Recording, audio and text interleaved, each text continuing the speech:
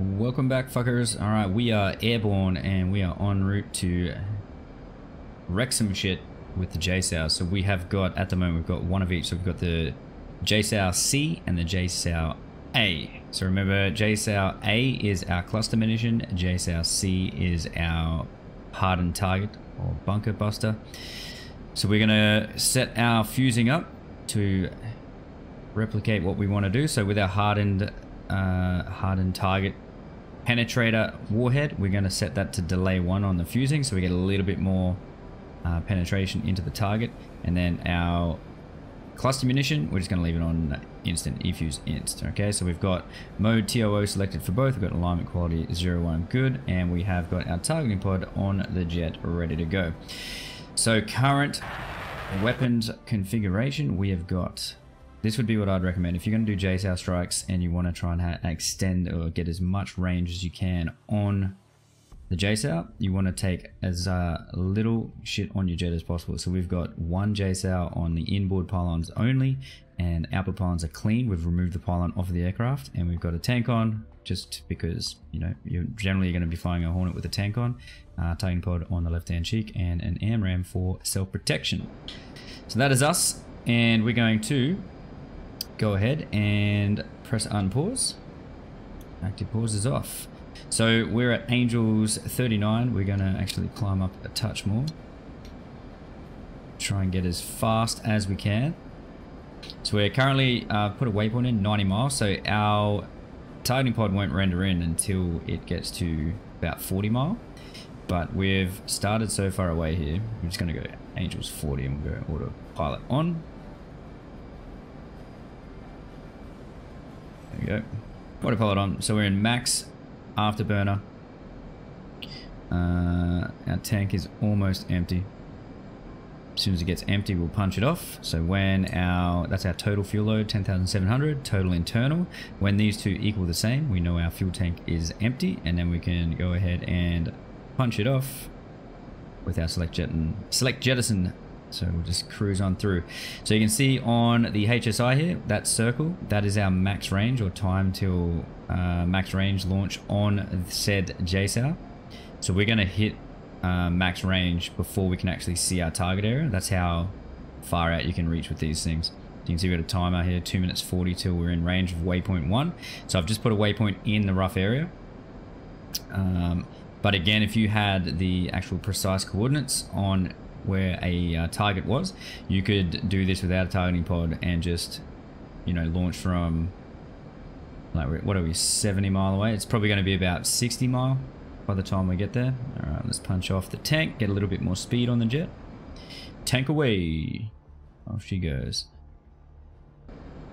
So if you're uh, doing sorties with eight JSOWs on board, you are definitely not going to be pulling numbers like this. Okay, you're going to be struggling to get past Mach 1 probably won't even make it past Mach 1 with that much drag on the jet. So the faster and higher you are, the longer legs you're going to put on the JSOW.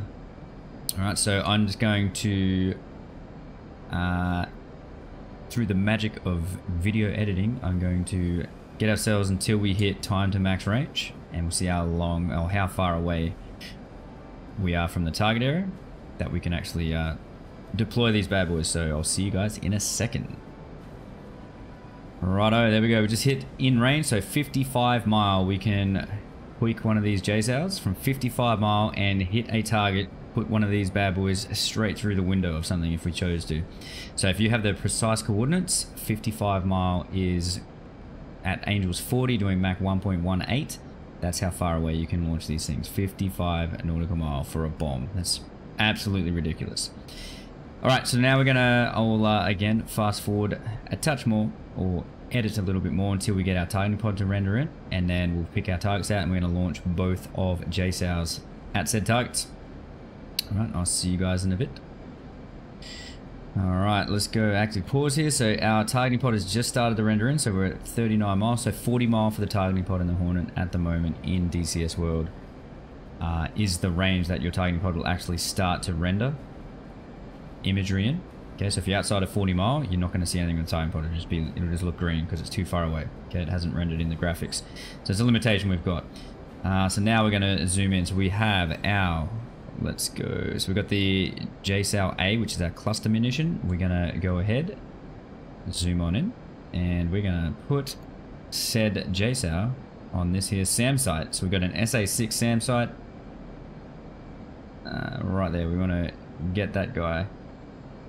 Okay, so because we are gonna go target designate now, TDC depress, we are well within range because remember we uh we could have fired from 55 nautical mile.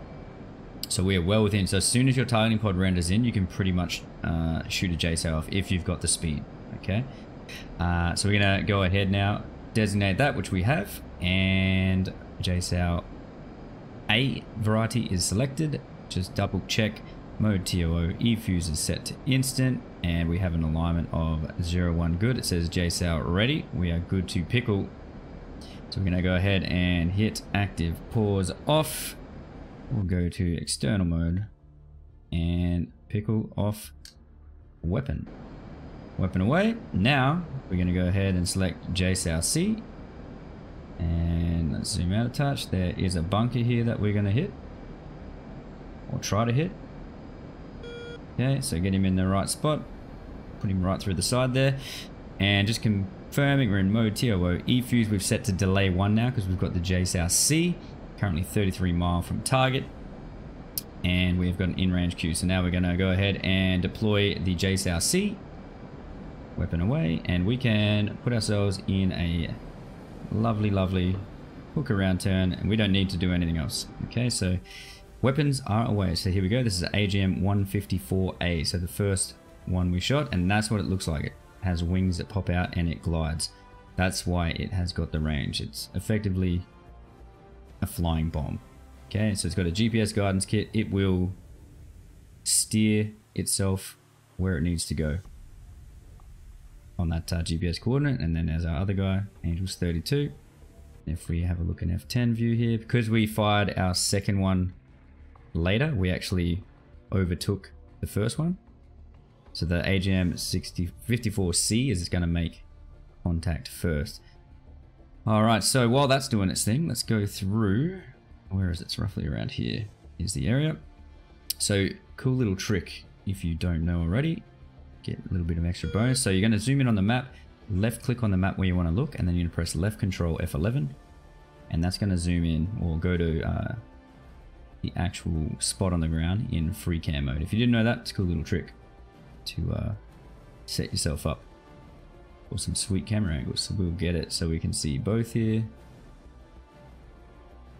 Yeah, that's pretty good. And then every time I press F11 now, so F6 is F6 is to select the uh,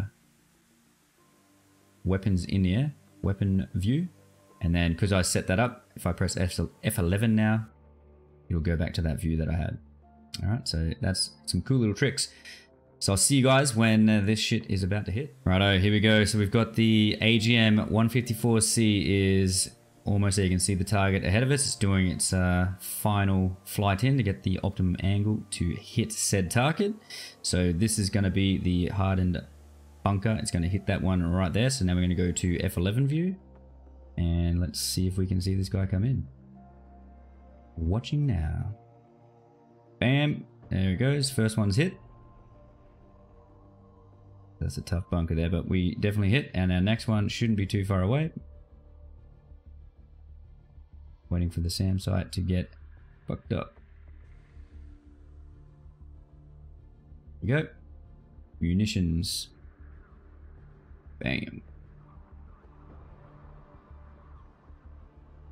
So that's the difference. Hardened bunker buster, cluster munitions. So if you've got stuff out in the open, like a SAM site, for example, uh, really good standoff capabilities to uh, if there's a whole heap of targets nice and close together. The old JSOW, my mouse, JSOW A version is quite handy for reaching out and touching some targets. Only thing you need to worry about. Oh my god! And we come back in with stalling. Oh, let's just uh, kick that in the guts. My god. That's what happens when you go into uh, external view for too long. Uh, the only thing you got to worry about with the the JSOWs is because they come in rather slow. Okay, their airspeed by the time they actually uh, get to target is going to be pretty slow in comparison to uh, like a HARM or something like that. Uh, there is certain missiles, certain SAM sites, sorry, that can actually engage and shoot down your JSOW. So if there is an SA-15, an SA-8, a HQ-7, the Chinese HQ-7, uh, and I believe SA-11, I'm not sure on SA-11, but definitely an SA-15, an SA-8, and a HQ-7, they can and will shoot your JSOWs down before they hit the target. So they will lock them up, they'll see them, they'll lock onto them, and they will fire missiles at them to shoot them down, like self-protection mode. So just be aware of that. If there is SA-15s, SA-8s, or HQ-7s in the area that you want to use JSOWs, your JSOWs will probably get shot down. Righto. Hope that helped, boys. And as always, if you haven't already, hit the like button to show your support of the video. Also, if you haven't already, hit subscribe and come on in and check me out on Twitch. Stream Monday to Friday on uh, 1300 roughly, 1 o'clock Australian Western Standard Time. And we just do shenanigans and blow stuff up on stream. So yeah, I'll catch you guys later. Hope it helped. Catch you later, fuckers.